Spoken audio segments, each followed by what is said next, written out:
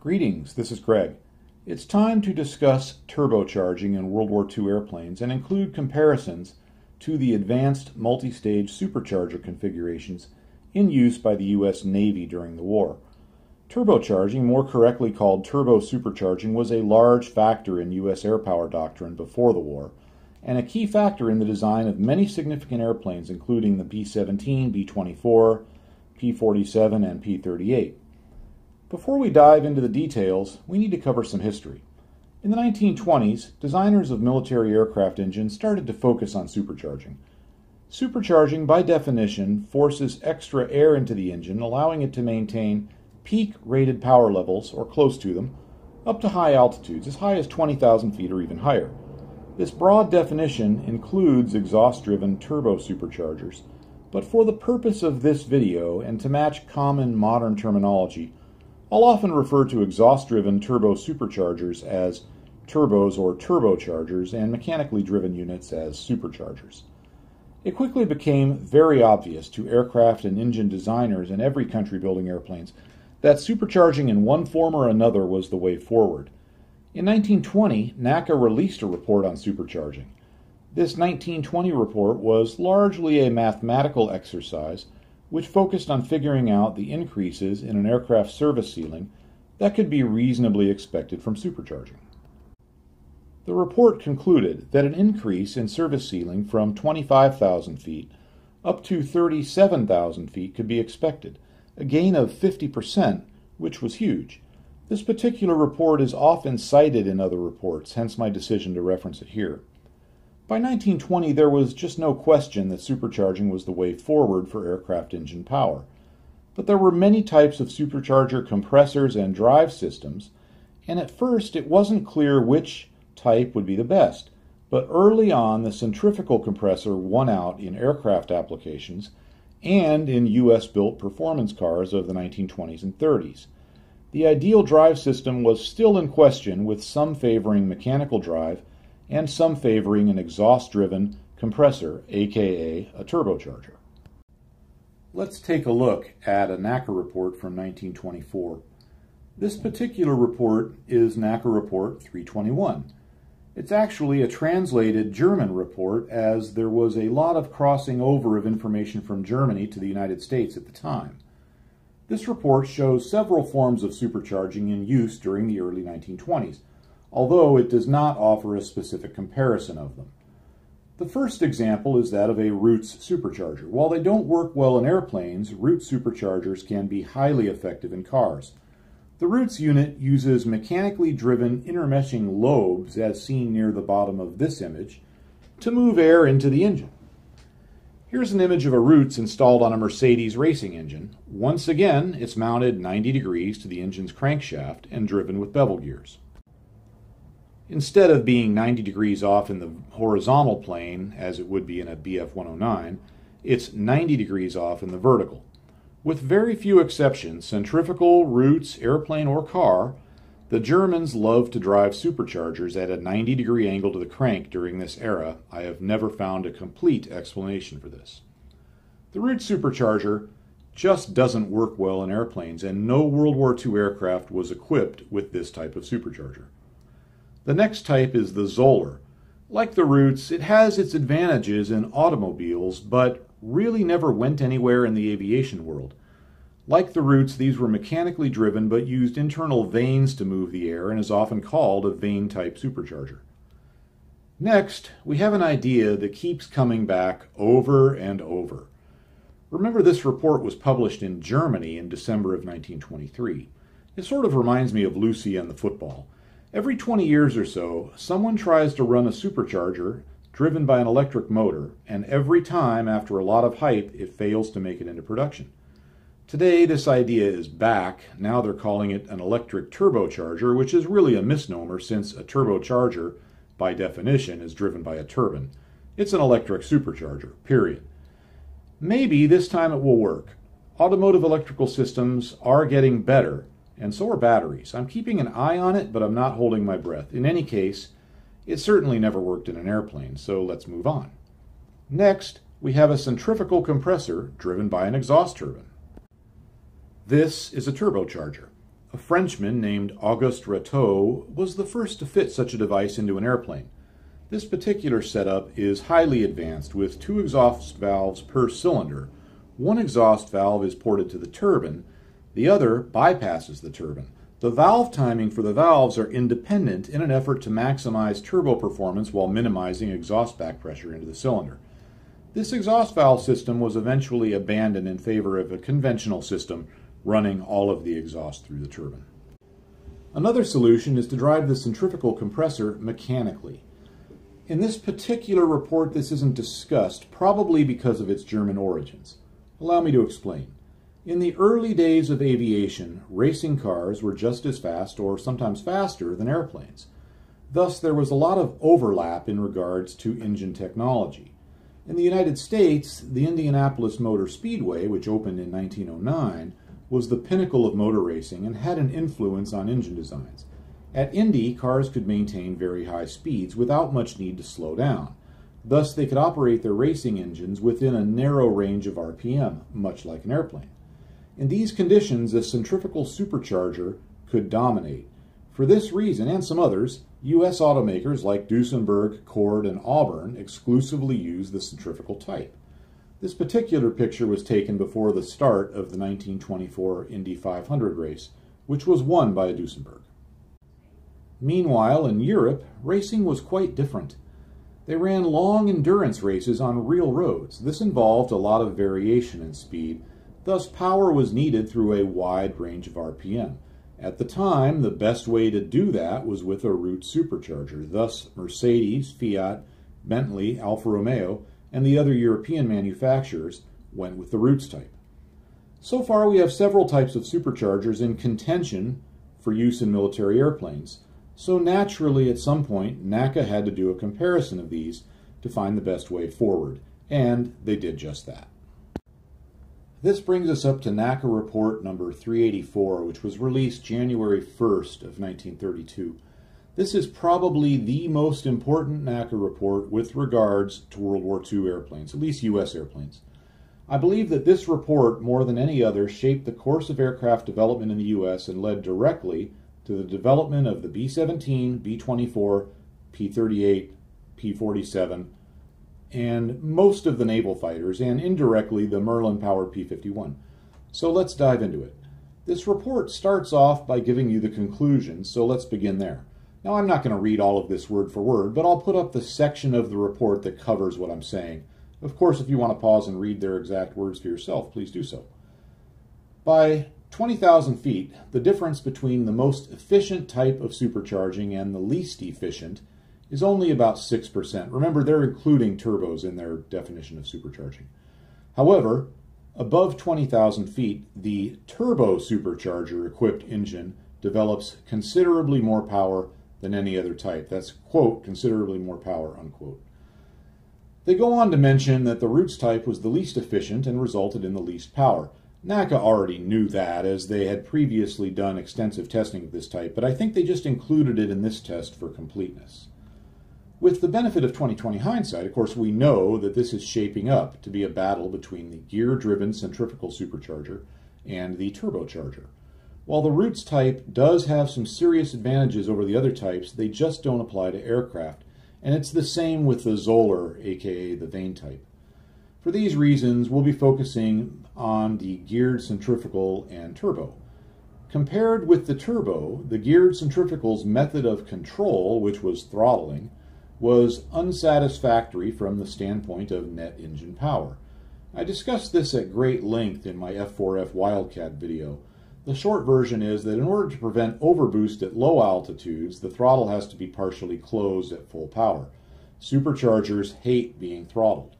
All of this means that the turbo has a significant advantage above 20,000 feet and an advantage at lower altitudes when the geared type is throttled. This graph shows a theoretical 100 horsepower engine with various types of superchargers and with a series of units sized specifically for each altitude.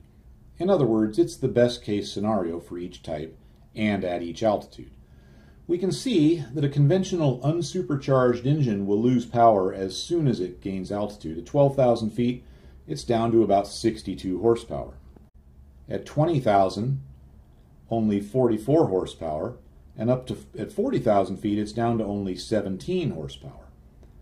Now, let's look at the chart at the 20,000 foot mark. We can see that the geared centrifugal has about 97 horsepower, and the turbo still has 100 horsepower. Now let's remember, this is assuming in both cases that a compressor is used sized specifically for 20,000 feet. Above that altitude, even under perfect conditions, the geared centrifugal starts to fall behind, eventually falling behind about 15% at 40,000 feet. Now you'll notice that the chart includes a line on the far right for what I'll call a magic supercharger. This is a supercharger that generates enough boost to maintain 29.92 inches of mercury all the way up to 40,000 feet without drawing any power. In other words, it creates free boost, which in the real world doesn't happen. However, it shows the power consumption of the various drive systems. For example, at 30,000 feet, this magic supercharger actually adds power and we get about 113 horsepower. Where did this extra 13 horsepower come from on our 100 horsepower engine? Well, in this case, it came from reduced exhaust back pressure because the chart assumes ambient pressure at the exhaust outlet, which is much lower than the manifold pressure of 29.92 inches. The higher the plane goes, the greater this advantage, as is seen on the line. Compared with the geared centrifugal, or comparing the geared centrifugal with the turbo, I should say, since both have similar drive power requirements, the power numbers are actually pretty close. Of course, they both run the same compressor, so the difference is in the two drive systems, geared versus exhaust driven. Now, contrary to popular belief, the power to spin a turbo is not free, but it is efficient. To quote NACA regarding a turbocharger, quote, the net engine power is the total engine power supercharged less the reduction in power due to increased exhaust back pressure, unquote. Back pressure costs power, and the turbo causes it. When using a geared centrifugal, power is, quote, the total power developed less the power required to drive the supercharger, unquote. On the chart, we can see that at 30,000 feet, the drive power requirement the boost needed to maintain 29.92 inches, that's 14.7 psi or 1,013 millibar roughly, it's about uh, going to be about 10 psi of boost in this case, and the drive power requirement will be about 13 horsepower for the turbo and about 20 horsepower for the geared centrifugal. That difference of 7 horsepower may not seem like much, but we need to remember that this engine only has 100 horsepower, so it's the percentages that matter here. On a 1500 horsepower engine, that's going to be about 105 horsepower, so it's really starting to mean something. More importantly, the turbocharger doesn't cause throttling losses, which the supercharger does at any point below its critical altitude. This hugely favors the turbo. Let's look at these throttling losses next. This chart shows the net engine power of a 100 horsepower supercharged engine with six different sizes of geared centrifugal superchargers, each optimized for maximum power at a specific critical altitude. Below this altitude, Power suffers due to the throttling losses. Above it suffers due to the supercharger's inability to maintain manifold pressure. Supercharger A is the low altitude supercharger. It makes its maximum power at 5,000 feet. So not much throttling is required at sea level, thus its throttling losses are only about 5 horsepower at sea level. However, it suffers greatly at higher altitudes. At 20,000 feet, it can only provide enough manifold pressure for 57 horsepower. Now, let's look at the other extreme, supercharger F. This supercharger is optimized for 30,000 feet. At sea level, it's in a world of pain. At 29.92 inches of manifold pressure, it's working against such strong throttling losses that it can only produce 68 horsepower. That's a 32% loss in power. As I've said before, superchargers hate being throttled. They have to do a lot of extra work to compress the air at the supercharger inlet because the air pressure there is so far below ambient. In other words, it has to compress more to reach a given manifold pressure value. Now up at 30,000 feet, the throttling losses are zero and the engine is putting out 95 horsepower. All the other examples are somewhere in the middle, so you can see that a geared single speed, single stage centrifugal is going to require some serious compromises. We're going to come back to this chart in a moment and explain how it relates to U.S. naval fighters. This next chart shows the Roots geared centrifugal and turbo all set up with single stages and geared for a 20,000 foot critical altitude. The Roots seems to do well here, but that's only because this chart deals with relatively low boost levels, only what's needed to maintain sea level pressure. Again, the Roots isn't really relevant to this discussion at this point. The geared centrifugal is at a huge disadvantage against the turbo below 20,000 feet here. At sea level, it's behind 80 horsepower to 100. Now, this lack of concern over throttling losses for the turbo, meaning if you're using a turbo, you're really not going to have throttling losses. That means that the designers could use the turbo and use one optimized for much higher altitudes because they didn't have to worry about sacrificing the power down low, which is what they eventually did, but we'll get to that. So far, things look pretty bad for the geared centrifugal. Its power suffers greatly from throttling down low, and it can't quite compete with the turbo up high. So why did the U.S. Navy seem to marry itself to the geared centrifugal for its planes? Well, there are two main reasons. The first is simply packaging. NACA pointed out that the geared centrifugal is compact and light, and it lends itself very well to installation in aircraft with air-cooled radial engines. Since the U.S. Navy was hell-bent on avoiding the use of liquid-cooled engines anyway, well, with the exception of uh, airships, the geared centrifugals would be easy to package into their planes. Second, the report points out that they would not be likely to be used unless either they were improved or set up in multiple stages, and that's exactly what happened. Both of those things happened prior to World War II. Thus, with multiple stages of geared superchargers and with big radial engines with plenty of room in the fuselage right behind them, the geared centrifugals were made to work really well. Not as well as a turbo, but pretty close. Now let's finish up NACA 384 by reviewing the conclusions. Below 20,000 feet, there's little difference between a turbocharger and a gear-driven centrifugal. But above 20,000 feet, the turbo is superior. About two years after that report, in 1934, the U.S. Army Air Corps proposed a bomber to replace the aging B 10 shown here. The specs called for it to be able to fly at 10,000 feet for 10 hours and have a top speed of 200 miles per hour. But they also stated that they would prefer if it had a top speed of 250 miles per hour and a range of 2,000 miles. Keep in mind, in 1934, there were still a lot of biplane fighters flying around, and many of them couldn't do much over 200 miles per hour. One of our newest fighters, the Boeing Peashooter, could get up to about 230 miles per hour. So asking for a 250 mile per hour bomber with uh, 2,000 mile range was asking quite a bit.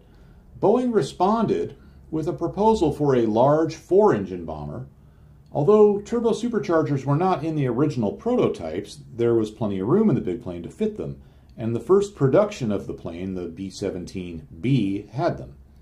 When these planes started showing up in 1939, the plane had a range of 3,000 miles and a maximum speed of 292 miles per hour at 25,000 feet. This performance helped reinforce the bomber doctrine that was dominating the Air Corps at the time. Even the latest fighter, the Curtiss Hawk, could not catch a B 17 at high altitude. Of course, at low altitude it could. The Hawk had a top speed of 313 miles an hour, but that was down at 8,500 feet. U.S. bomber doctrine at this point was focused, and focused pretty heavily, on high altitude precision bombing. It was thought, largely because of its turbochargers, the B 17s would be almost impossible to intercept, and if intercepted by enemy fighters, they could be repelled by the firepower of the bomber formation. Of course, that's not exactly how it went, but if you look at this from the standpoint of someone in 1939, you can see the logic here. It's very difficult to package turbos into a fighter. It's easy into a bomber. And here was the B 17, able to fly at 25,000 feet. It was faster than any U.S. fighter currently in service at that altitude, and faster than most known potential enemy fighters. With the benefit of hindsight, we know that the Bf 109 was among the very few fighters that were faster at 25,000 feet, and that U.S. fighters would soon be catching up. But in 1939, things were looking pretty good for the bomber. General Electric, the company that made the turbochargers for the B 17, stated in a 1943 training video in regards to turbocharged bombers, quote, almost without exception, these planes have returned safely from their missions, unquote. that was true early in the war before we started bombing Germany. In the video, they later point out in the cases when we did lose bombers, they were usually operating below 25,000 feet, which was also true at the time. U.S. air power doctrine focused heavily on the four engine bomber, with large numbers of B 17s being built. The slightly more advanced B 24 was built in even greater numbers and was also equipped with turbo superchargers. As a side note, the B 24's pilot's manual seems to assume that pilots are just prone to being idiots Nearly every picture in it has some sort of caption admonishing bad techniques. I don't see that very often in other publications of the time. It's pretty unique to the B-24's manual. I don't think it means anything, it's just an interesting observation.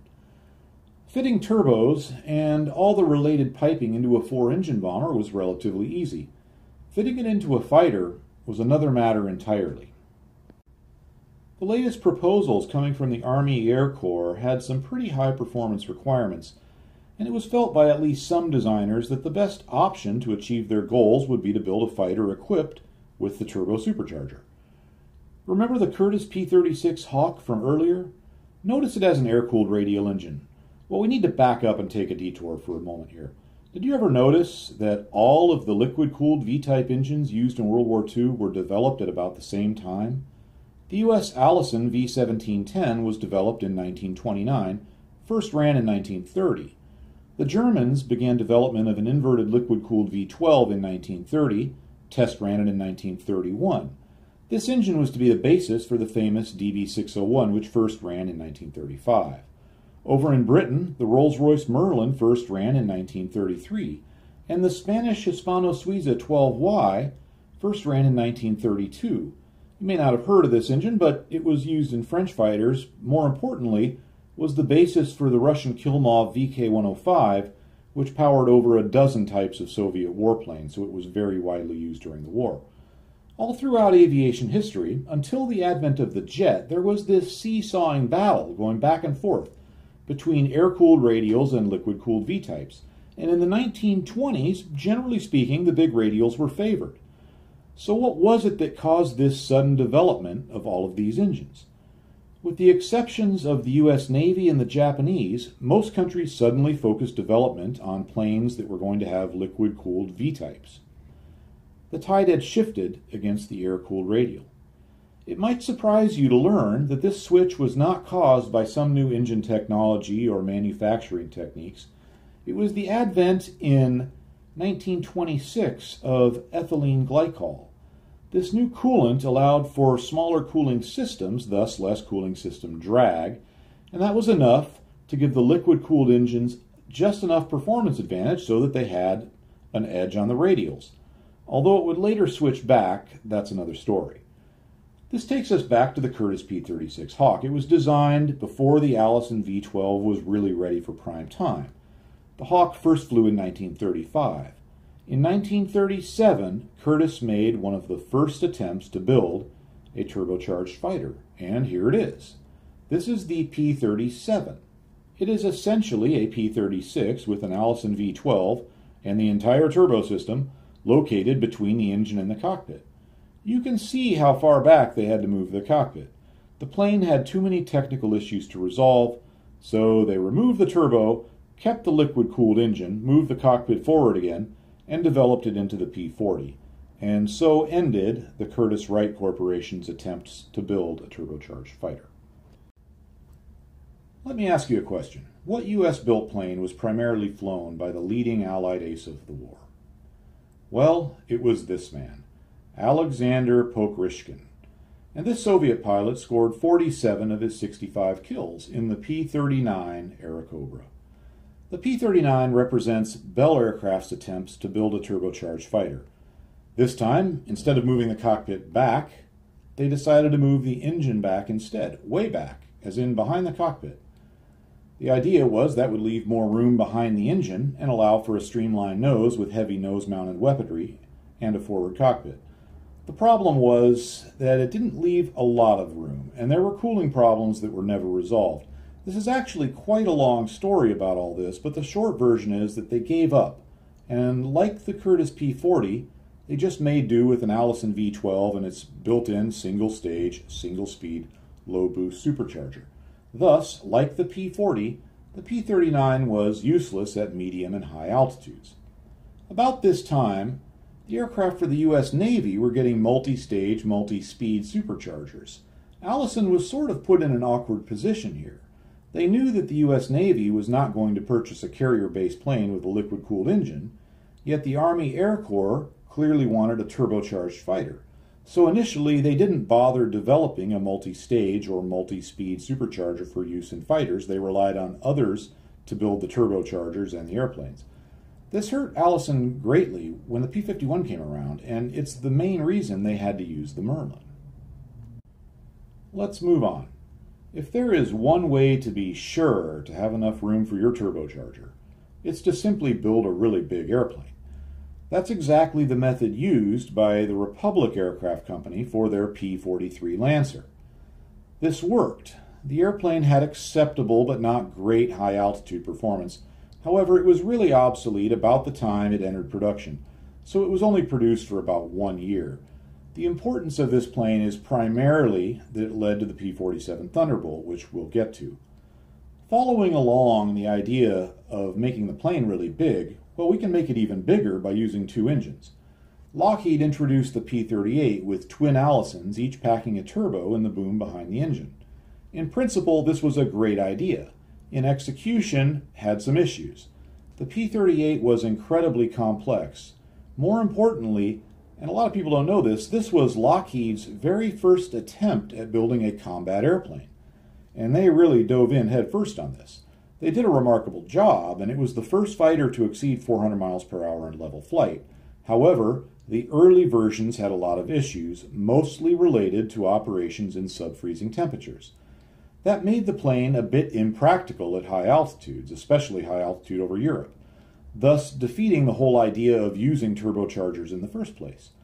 The plane had tremendous success in the Pacific, and eventually its issues were resolved, but by then the decision had already been made to replace them in Europe with P 51s. Thus, the P 38 was never really able to show what its turbos could do when up high. The whole P 38 story is so complex that it will need its own video, so let's move on. Now, before we get to the non US airplanes that were turbocharged, we need to talk about the P 47 Thunderbolt. Building on the lessons from the P 43 Lancer, Republic went with a big fuselage and put the turbo and intercooler in the back ran ducting all over the place, and boosted manifold pressure like there was no tomorrow. Even early versions could boost enough to maintain full manifold pressure up to 27,000 feet. When delivery started in late 1942, the P 47, with its top speed of about 430 miles per hour, was the fastest combat airplane in the skies, at least at high altitudes. Further development resulted in combat versions with top speeds over 470 miles per hour and test versions that it could exceed 500 miles per hour. Those, of course, were never operational.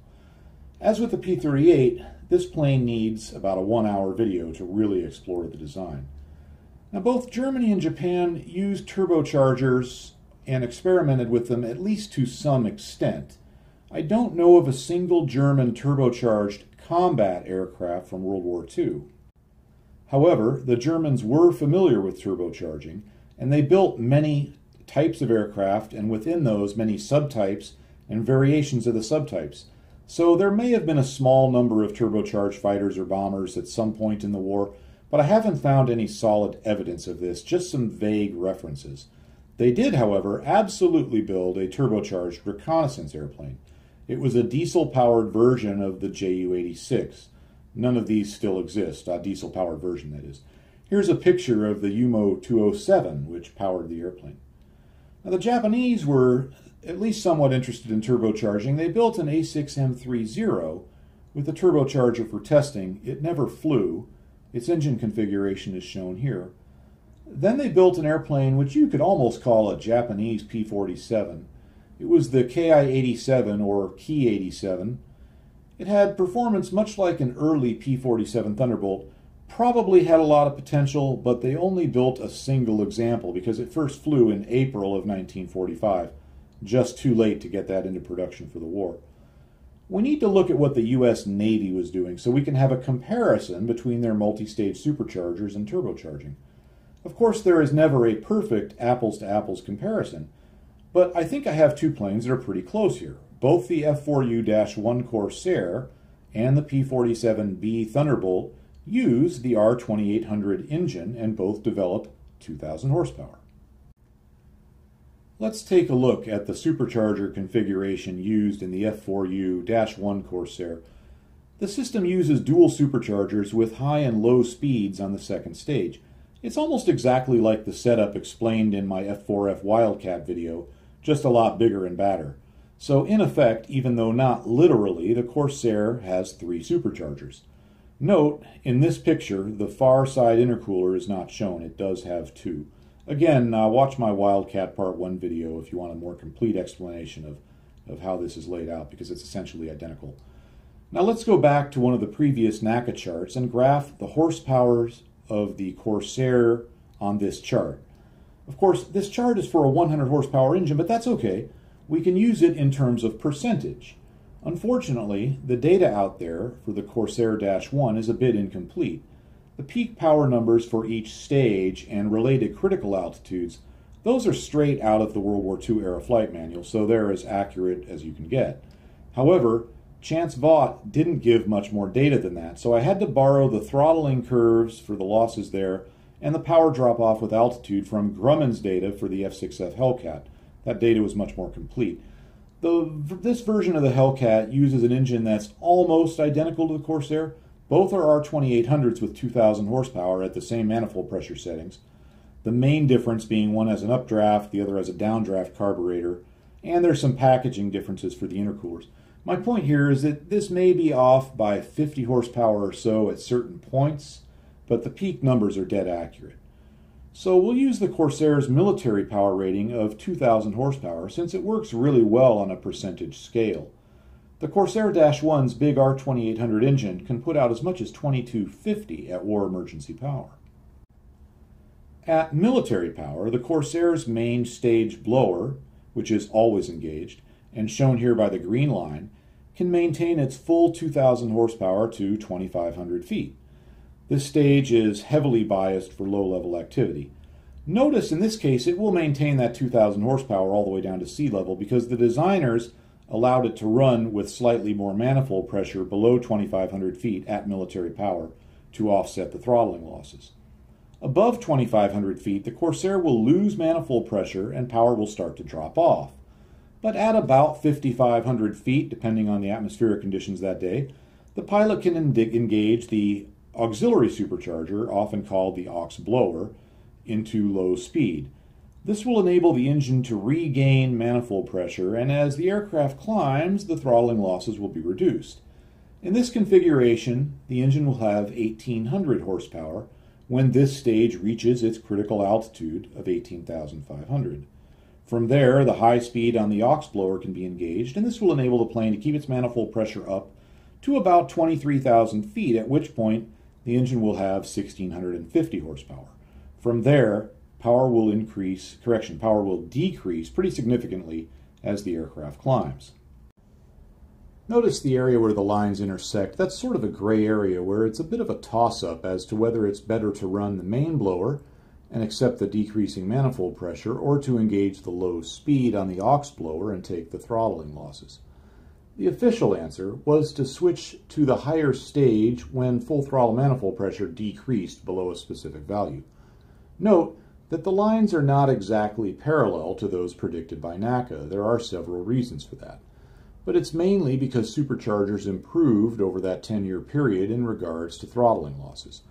Power above the critical altitudes doesn't quite keep up with the predicted numbers due to the installation in the actual airplane. When you actually put something in a real airplane, it's going to behave a little bit differently than it did on the test bench. So the Navy's solution was big radial engines and two stages of supercharging with two speeds on the auxiliary stage blower. And the Army Air Corps, by and large, was to go with the turbocharger. Let's take this opportunity to compare the Corsair's excellent supercharging system with that of the land-based P-47B Thunderbolt.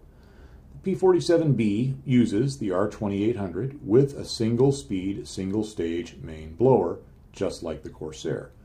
but instead of a second stage two-speed supercharger, the Thunderbolt uses a turbo. Now, before I post the Thunderbolt's power, I have to make something clear. These are not war emergency power numbers for either airplane. We're not trying to compare airplanes here, just the differences as they relate to the turbocharger. The Corsair's numbers are for military power, the Thunderbolts are for emergency maximum. These two ratings are the same thing. They both have almost identical manifold pressure values, 52 inches for the Thunderbolt, 53 for the Corsair and both have the same five minute limitation. They only differ in name because of different manufacturers, and one is U.S. Navy, the other is U.S. Army Air Corps, or Army Air Force, depending on what year we're talking about. As you'll see, while both have 2,000 horsepower ratings, the two systems yield very different results. So here it is. The Thunderbolt is shown via the gray line, and it maintains its full 2,000 horsepower from sea level all the way up to 27,000 feet, where it will have a 600 horsepower advantage over the Corsair. From there, power drops off, but it's still very strong. I think this chart shows the power advantage of the turbo supercharger. It's not just about the power at altitude, although that is a big factor. It's about the ability to vary the speed of the supercharger independently of the crankshaft in order to maintain power throughout a large altitude range. Of course, it's not all sunshine and rainbows for the turbo. This comes at a tremendous penalty in packaging requirements, which is why the Thunderbolt's fuselage is so fat and the Corsair's is so skinny. Plus, the Corsair had some extra, extra packaging trips to help keep it sleek, which are described in my video on Corsair design features. On the P-47 side, its drag isn't as high as you might think. In fact, its overall drag is about equal to the Corsair. You see, at this time, most designers were using NACA wings. However, a few years earlier, when Republic Aircraft was still Seversky Aircraft, Alexander Seversky himself decided he was going to design his own wing. He came up with the Seversky S3 airfoil, which it turns out was really good. In yet another test done later, uh, so the wing was competing against later designs, but this wing had the lowest drag of all the conventional wing designs that were tested, although not lower than the newest low drag types from NACA, but those weren't available at the time they were designing the P-47.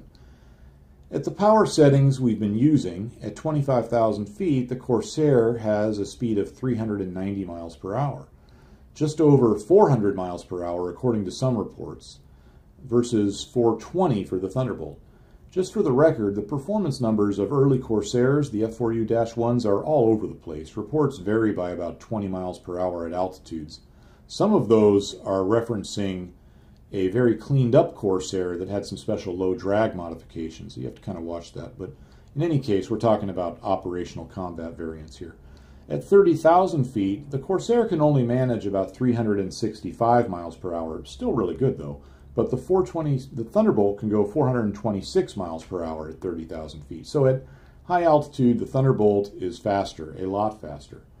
Now at lower altitudes, because horsepower is very close and drag is fairly close, with a slight advantage going to the Corsair, uh, it's much closer. At 52 inches of manifold pressure, both airplanes run about 350 miles per hour at sea level, with a slight edge going to the Corsair. Overall, the two planes are pretty even in speed until about 20,000 feet. Now it's time to summarize all of this. After NACA released Report 384 in 1932, in January of 32, the designers of aircraft which would be used by the U.S. Army, the U.S. Army Air Corps, began focusing heavily on turbocharging because the idea of a fast, high-flying four-engine bomber fit neatly into their doctrine, and it was relatively easy to turbocharge big airplanes. Subsequent proposals for fighters required them to have enough performance to be able to climb high enough and go fast enough to intercept potential turbocharged enemy bombers, although none ever existed. Many companies tried to build a turbocharged fighter, but it was very challenging, and the only complete success was the Republic P 47 Thunderbolt. Although the P-38's early issues were eventually solved, but it was too late to take advantage of its abilities at high altitude. Now, the Navy took heed of NACA 384, and naval aircraft were designed with modern multi-stage, multi-speed, gear-driven centrifugals for the advantage in simplicity and packaging. It also kept costs much lower. In comparing the Corsair and P-47, it appears that NACA called everything about right in 1932. The Corsair's up, its performance up to 20,000 feet is on par with the much more expensive P-47 and higher in some ways. But at high altitudes in 1943, the P-47 Thunderbolt was king. Now turbochargers don't go much farther in terms of military aviation. The advent of the jet put the brakes on a lot of piston engine development. Some of it was pretty exciting too. But the B-29s had turbos, and it could operate, I should say they could operate at 30,000 feet, and in 1945 were proving very difficult to intercept and shoot down. After the war, Republic built the turbocharged Rainbow, an airliner capable of a maximum speed of 470 miles per hour with a 400 mile per hour cruise speed at 40,000 feet and a 4,000 mile range. That target was called 444, 400 miles an hour at 40,000 feet for 4,000 miles. There was also a reconnaissance version for the military, but the tremendous expense of this airplane killed it off. It was almost four times the price of a DC 6, which could fly almost as far, although at much lower speeds, typically about 300 miles per hour, and carry quite a bit more. Thus, only two Rainbows were built before the project was canceled, and in my view, cancellation of the Rainbow really marked the end of turbochargers in military aviation, or for that matter, high-powered aviation piston engines, period. I plan to make a full video about the P-47. I might even do that next. It's one of my favorite planes because of its technology and its ability to get you home. I'll leave you with this picture and a poem by Lieutenant E.C. Buckley, a Thunderbolt pilot. Have a great day, and I hope to see you here for my next video.